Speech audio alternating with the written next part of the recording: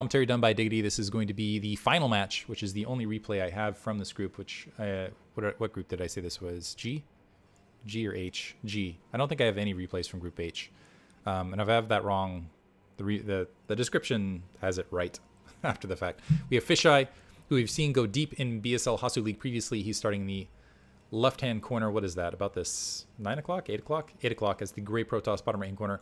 We have Protoss uh, as the blue Protoss. He's going to be starting at the 4 o'clock position.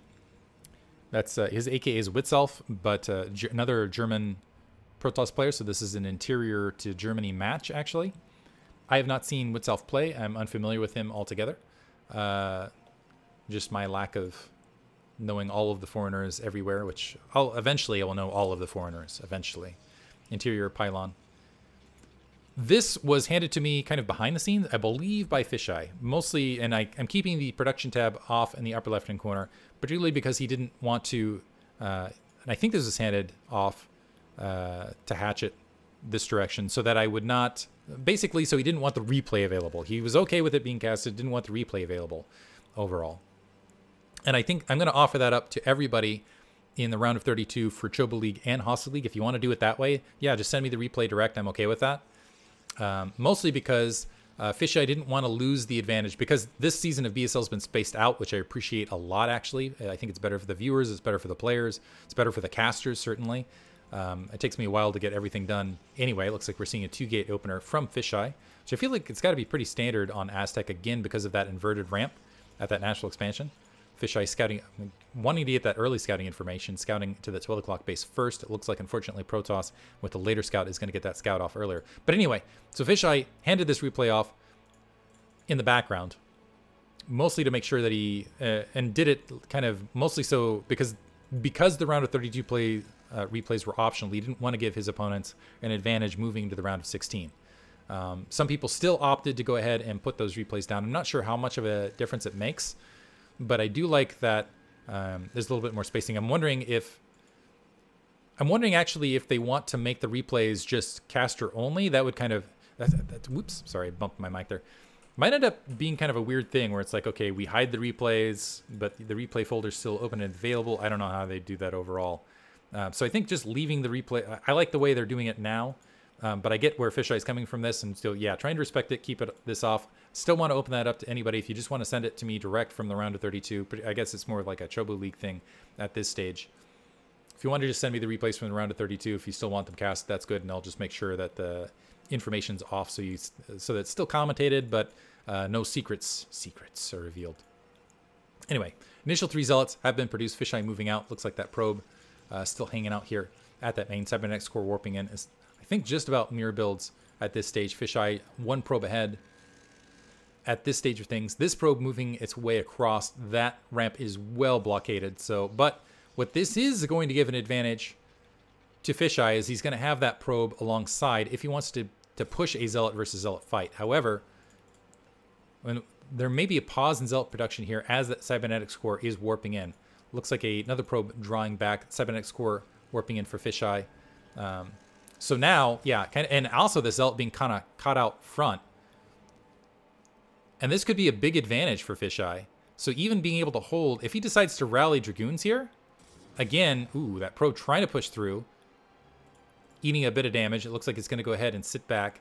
But now, yeah, Fisheye, what he can do is create a, a nice concave. And granted, it's it's a long distance to reinforce. But if he can get Dragoons here, and hold this high and hold the high ground, he can basically box his opponent out of a base entirely.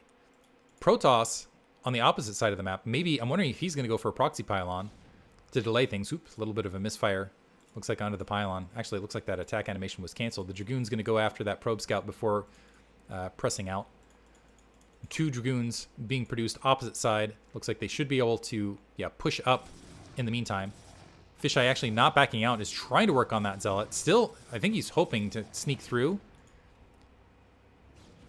And here's, yeah, that problem is, is even with those Dragoons there, it's a high ground misfire uh, disadvantage. But now Fisheye, he's kind of dedicated.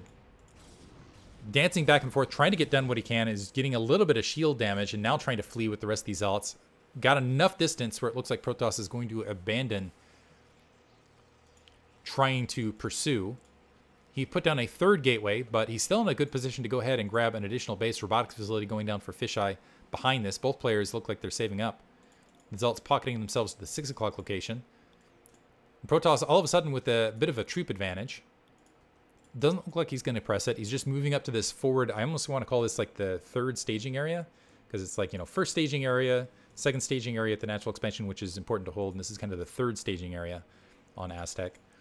So he's going to get his Nexus up well before Fisheye does. Fisheye with the robotics facility. Uh, looks like range is going to finish, so he is going to have that advantage. I believe, uh, with his Dragoons. More Dragoons grouping up, and Protoss sending out yet another probe scout. He's gonna is he gonna find these Zealots to the south? These Zealots being very sneaky. Might be able to, first of all, get scout. First of all, they're gonna see that Nexus as they're running underneath. And might even be able to get a probe killer too. Protoss completely out of position, trying to draw troops back to engage this. These Dragoons are going to be a ways off. So seeing the build order, seeing the three gate build, so now Fisheye has all of the scouting information plus the disruption and mining. Is he going to get probe kills on top of this? Probe drills trying to disrupt this, a pretty good disruption, but still ends up losing some mining time. So two zealots, I think, are worth both the scouting information and the disruption of mining time there. Fisheye getting his Nexus up. So this Nexus is going to be significantly later, but critically, he knows what his opponent's up to. Grabbing a robotic support bay, so he knows, or should know, at this level of play, how to respond in kind. A little bit behind in supply. He's going to be behind economically overall. Fisheye actually sneaking out a probe to the upper ramp. Is he going to go for a quick third? I would be kind of shocked if that was his play. Protoss starting to move out with a lot of Dragoons, and Fisheye actually doesn't have a big grouping here at this staging area. Am I just going to call this the third staging area from now on? It looks like, okay, this is the probe. Going to this is the logic behind the probe. Allow this observer to go ahead and move forward, keep this probe to the north to see if there's an end around of troop engagement. And Fisheye is in fact going to see these troops with this probe. Great play. Stinking their way across. Let's see if Fisheye can regroup. Trying to regroup near that natural expansion. He's going to use that pylon with the misfire rate and re uh, kind of settle these troops. Overall, it looks like you got, what, eight Dragoons here, but a closer reinforcement and superior Dragoon force opposite corner. There is a handful of Zealots. More Dragoons pressing forward to reinforce. The Observer across the base seeing everything. And Protoss starting to work on that pylon for free. There is a Reaver, but the Reaver's got a slow walk to the north, and otherwise there is a one-gate reinforcement advantage for Protoss. The question is, is can the Reaver get in position to provide that additional defense before Protoss dives on top of this? Protoss now moving in, the Reaver just crawling up to get involved in this fight. A nice nice spread, though, from Fisheye to engage this, and it looks like they're now the shots raining down. So that should be the end of this attack from Protoss. Loses a lot of his Dragoons. And it looks like that Reaver is going to hold. So Fisheye keeps that natural expansion up. Replacing that pylon. Has the Reavers defensively. And Fisheye has an observer sitting over that natural expansion. Is going to see that Citadel of Adun warping in. Fourth gateway being plopped down. Third gateway being added now for Fisheye to deal with this. A Dragoon sneaking forward is going to eat some base fire, continuing to press into this, which shocks me a little bit. Wants to pick that Reaver off, and is going to end up losing the rest of this Dragoon army on the front. Does pick the Reaver off, however, but loses what's left of those attack forces. More Dragoons pressing forward. So nice, I gotta say, nice pick off there overall. Third gateway and fourth gateway being added for Fisheye behind this. Still no second gas. Second gas has been grabbed by Protoss. I think he's just to go for Zealot leg speed. Fifth gateway being added. So this is to be a five gate, very heavy five gate mid game pressure. Which makes sense why he went so aggressively after that Reaver. Because I think he wants to go, yeah, speed legs, force Fisheye into his natural expansion, get a bunch of zealots underneath, a bunch of dragoons on top of it, and press out from there. Shuttle moving out to the north. This might be an opportunity, and the, is there going to be a second? Re there should be a Reaver in time to provide some additional defense. Fisheye grabbing a Citadel Dune of his own, and Fifth Gateway as well. And also kind of checking at that right-hand corner. This shuttle could be the difference here. And I take that back. Protoss acting like he wants to go ahead and grab a third base, but getting the Zealots in the leg speed. No And warping in a photon cannon actually underneath this. Did that probe see that shuttle? I don't know that it did. Maybe it did, because it looks like there is a Dragoon making its way back here. But the cannon not yet warped in. Fisheye able to get that Reaver down. Several, it looks like four kills right there, and more coming. So that shuttle going to get wiped out. Maybe not, actually. Picking off another Dragoon. So the Dragoon standing underneath, and now that shuttle being focused fire, the Reaver still able to drop on the low ground, but not a lot of probes left at the main after all of this.